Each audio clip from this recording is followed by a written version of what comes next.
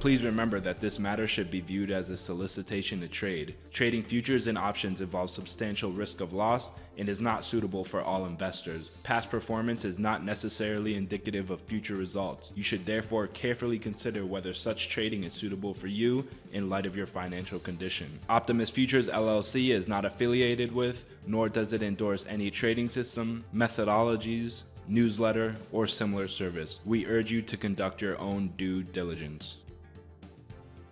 Now, here's your host, founder and CEO of Optimus Futures, Matt Zimberg.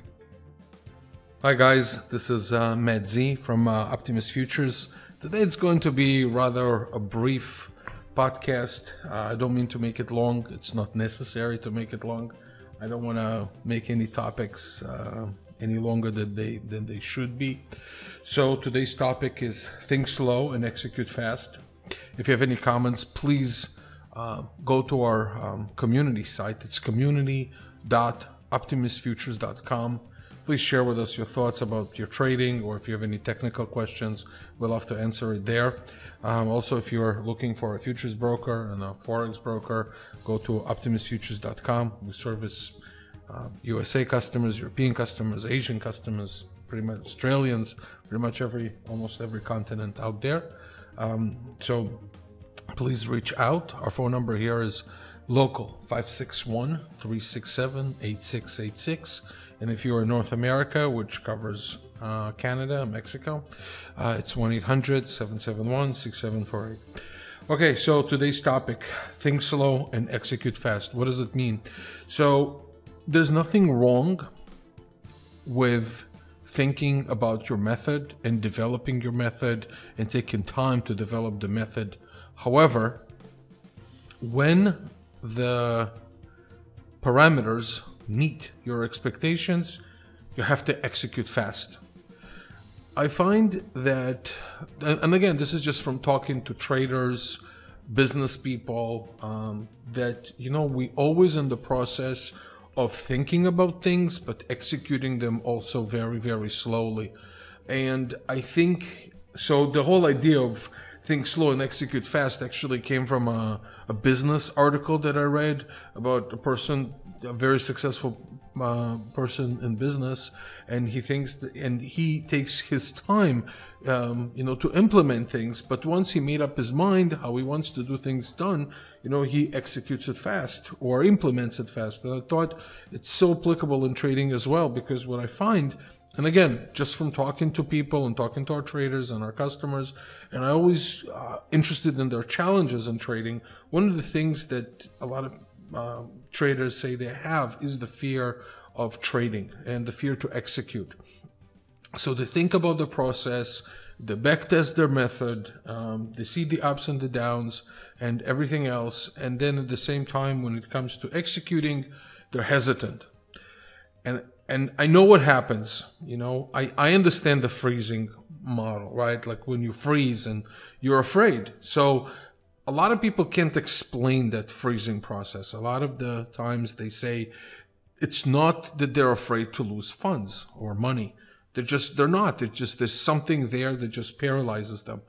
So the topic today is not necessarily going to be about uh, how to overcome that fear, but rather say that you have to overcome that fear. So you build your method, right?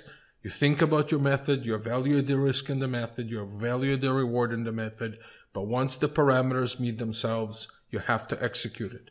Now, a lot of people who don't execute, two things happen, right? So when they don't execute, they say to themselves, I wish I would have traded. Um, I knew that, you know, this trade is going to be you know, a good trade. When they do execute, they say, why did I trade? I had a gut feeling that, you know, it's not going to be good. And then I didn't execute. So essentially they miss out on both ends, right? They miss out on the good trades. And when they're in, they're in the losing trade.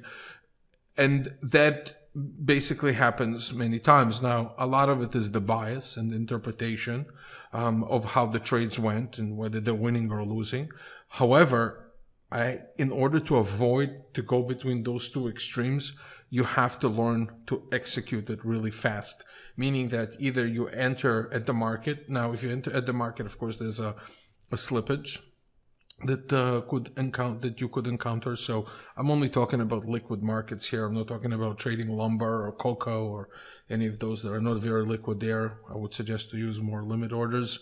Um, but doesn't mean that you can't use limit orders on something like E-mini. So if you think slow about your method, you analyze the market slowly while it's it's trading. But if it meets your parameters, you have to place the orders, and that's what really execution is all about. So even if you put, place a limit order, then be ready for the trade to be executed. And that's basically it. You have to, again, just think slowly about the process and execute it there uh, really, really fast. Now, the whole thing with execution is that the market doesn't give you, um, you probably heard in my, the market doesn't give you a lot of opportunities to enter at a good price. You probably heard my previous podcasts and my previous podcasts were discussing the fact that you know an opportunity that when you have an edge, um, the part of the edge is also recognizing mispricing in the market. So if you think slow about your method, but you don't execute fast, but rather you execute it slow, the opportunity may be gone away, and then the risk reward changes all of a sudden within seconds, right? With literally within seconds. So you have to learn um, to trust yourself and trust your method. Now, over time, the method might not work, but it doesn't still does not mean that with any revised method, you know, you have the luxury of executing slow. So again, you know, think about this point. If you have any comments about it, go to community.optimusfutures.com. If you have any questions about it, if I was too vague about some things here, or if you have, if you find that you had that issue, please share it with us. Um, otherwise, also if you're looking for a broker, go to optimusfutures.com. Would love to service you. It's Matt Z from the Optimus Futures. Thank you for listening, and until next time, I wish you a great trading week. Thanks. Bye. Please remember that this matter should be viewed as a solicitation to trade. Trading futures and options involves substantial risk of loss and is not suitable for all investors. Past performance is not necessarily indicative of future results. You should therefore carefully consider whether such trading is suitable for you in light of your financial condition. Optimus Futures LLC is not affiliated with, nor does it endorse any trading system, methodologies, newsletter, or similar service. We urge you to conduct your own due diligence.